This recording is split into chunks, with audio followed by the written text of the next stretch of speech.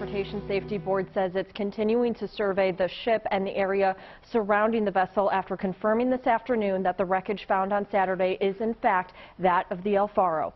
Four Mainers were on board the vessel when it sank in rough seas on October 1st. The Navy ship Apache located the wreckage 15,000 feet underwater using a side-scanning sonar system.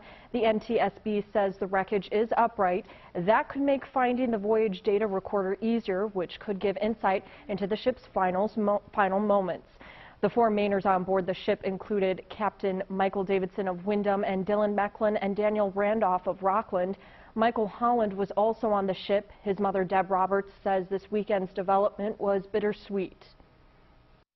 I feel like I'm at tug of war with my heart and my head. That's what I feel like. That's the best way that I can put it. Because my head wants the answers, but my heart wants hope. So it's struggling to find that balance. Officials say recovering the voyage data recorder, documenting the debris, and photographing the site could take 15 days or longer. The ship will not be brought to the surface, but if remains are found, the Navy will try to recover them. Live in the studio, Courtney Sturgeon, WMTW News 8. All right, thank you, Courtney.